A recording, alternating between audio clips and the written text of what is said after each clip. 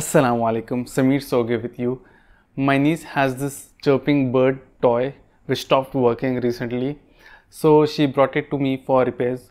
I thought why just repair it, why not improve upon it. So I modified it such that it will be controlled by this uh, USB power and I added microcontroller to it such that it can be accessed via a web interface and turned on or off since it can be uh, controlled with via a web interface, I can trigger it uh, at certain times in order to make it into an alarm clock and she can stop the alarm via this button as well as using the same button she can turn on or off uh, the toy. Let's see how it works.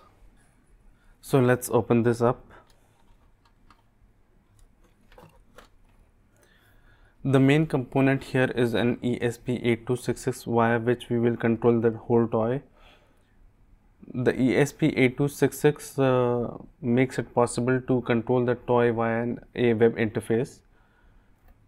What this will do is uh, with this we can control this uh, relay and uh, the power to the board of the toy goes via this relay so when we trigger the relay on, the bird will start chirping and moving. And when we cut the power to the relay, the bird will uh, stop moving.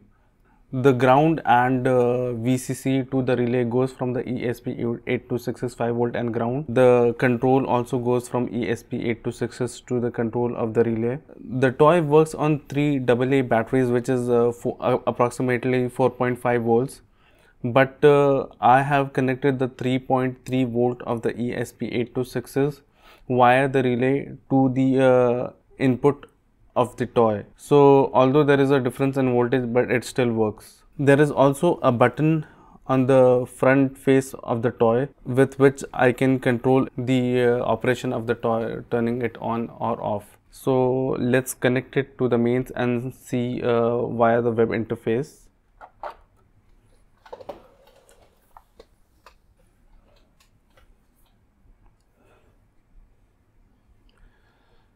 192.168.100.104 is the IP of the ESP8266. So let's turn it on.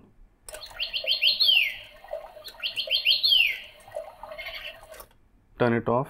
If I press this, it turns it on and pressing it again will turn it off.